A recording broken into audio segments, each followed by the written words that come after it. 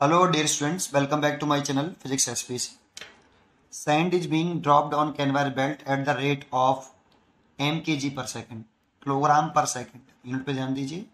That means ये D M by D T है. M K G per second mass per time है. The force necessary to keep the belt moving with constant velocity ये important word है constant velocity है. Velocity constant है. यहाँ पे जो वेलोसिटी है वो कांस्टेंट है। ठीक है? वी मीटर पर सेकेंड दे रखा है और फोर्स पूछ रहा है। तो देखो, इसमें Newton second law of motion से करेंगे इसको। और न्यूटन सेकेंड लॉ मोशन कहता है कि net external force F equal to D P over D T यहाँ पे इसको बोलते हैं पूरे को rate of change in linear momentum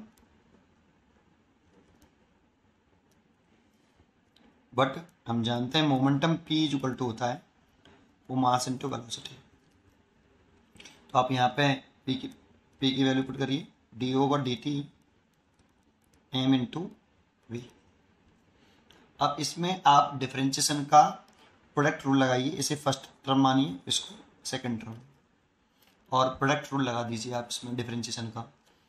लगाइए F equal to first term same second term का differentiation plus second term same और फ़र्स्ट का डिफ्रेंशिएशन बट यहाँ पर हमें क्वेश्चन में गिवन है कि वेलोसिटी जो है, वो कैसी है? कांस्टेंट है।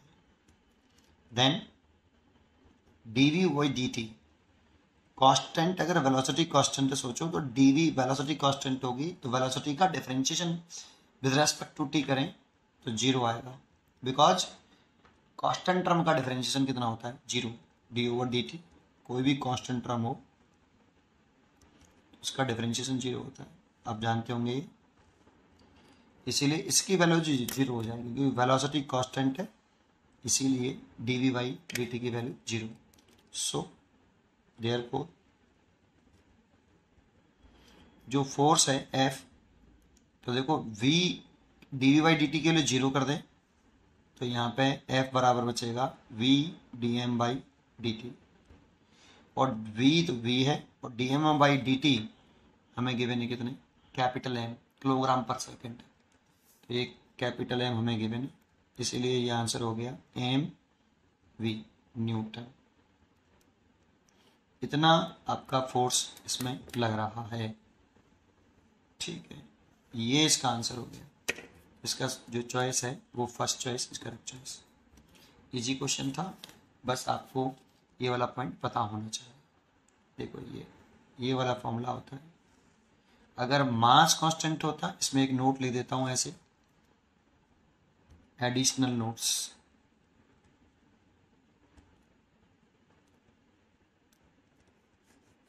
इफ़ अगर मास कांस्टेंट होता और velocity V variable then D M by D T zero होता। Then therefore F is equal to M D V over D T इस जगह से, ये इस जगह से। ठीक? और D V by D T is called acceleration change in velocity per time is called acceleration F बराबर फिर हम एम ए लिखते हैं। ऐसे।